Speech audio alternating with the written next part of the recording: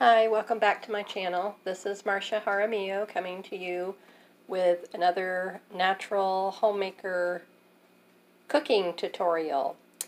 I have something really good for a corn alternative and like grits type of a thing.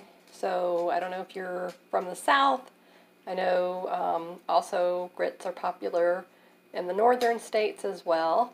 I grew up in the south, so this was a staple in our house. And we would have eggs and grits for breakfast. so now I can no longer have corn. So I wanted to introduce you to buckwheat. And this is the brand that I absolutely love. It's organic. Let me get my spoon out of the way. And it's the Pocono brand and I get mine at Vitacost. If you want my referral link to get uh, cash back using Ebates, you can go to my website at www.marketsofsunshine.com and you'll be able to sign up using my referral link for Ebates. And then go to Vitacost and you can get this the cheapest place than any health food store um, locally and get cash back at the same time and then browse their organic gluten-free section for other alternative choices.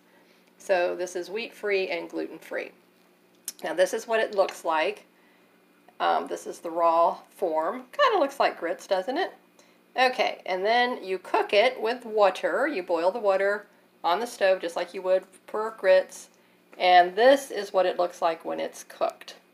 Now, I cannot have dairy either because I'm allergic to the protein in dairy, believe it or not. So it's not being lactose intolerant like a lot of people may think, so you really need to get tested to see what is it about the dairy. So it could be something more serious than just being lactose intolerant. Then, so what do I use instead of butter?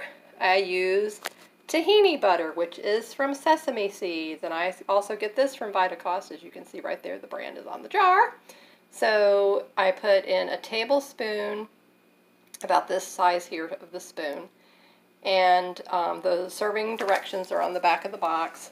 So you can start off with a quarter of a cup of buckwheat and one and a fourth cups of water, a little dash of salt, and you can go up from there for serving sizes. So that's for one serving size. What is absolutely yummy, if you can have dairy, is to put in um, your favorite cheese, and just a teeny weeny bit of butter. And oh my goodness, absolutely delicious, fabulous. And then if you can eat eggs, um, then go ahead and make up your favorite um, fried egg or scrambled and put that in.